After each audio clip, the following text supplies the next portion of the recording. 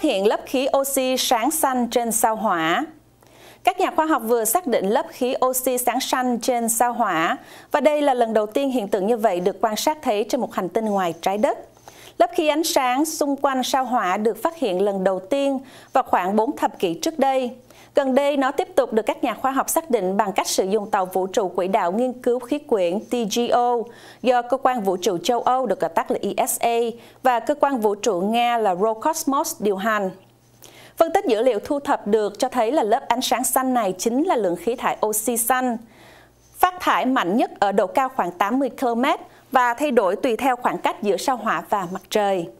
Oxy phát sáng xanh cũng có mặt trong bầu khí quyển của trái đất.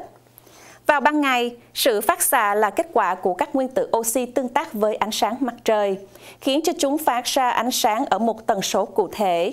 Một ánh sáng tương tự cũng có thể được nhìn thấy vào ban đêm, nhưng là do các phân tử đã bị phá vỡ do bức xạ mặt trời hợp lại.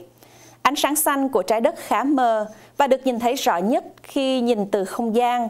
Một khung cảnh thường được các phi hành gia chụp trên trạm vũ trụ quốc tế được gọi tắt là ISS. Việc phát hiện oxy ánh sáng xanh từ sao hỏa là điều chưa từng được phát hiện trước đây, không chỉ trên hành tinh đỏ, mà còn của tất cả các hành tinh ngoài trái đất mà con người từng nghiên cứu. Theo các nhà khoa học thì khí thải màu xanh có thể được tạo ra khi carbon dioxide trong khí quyển của sao hỏa bị phá vỡ thành các bộ phận cấu thành của nó là carbon monoxide và oxy. Quá trình này tương tự như quá trình tạo ra ánh sáng xanh vào ban đêm của trái đất. Điều này đặc biệt có ý nghĩa trong nghiên cứu vật lý nguyên tử, lượng tử và cách các nguyên tử oxy hoạt động.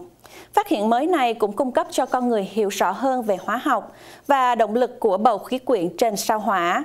Từ đây tìm ra cách có thể giải đáp một phần câu hỏi là bầu khí quyển có từ đâu, điều gì dẫn đến sự sống và khác biệt của trái đất và các hành tinh khác, cũng như là việc thiết kế tàu vũ trụ, lập kế hoạch cho việc thám hiểm bề mặt sao hỏa trong tương lai.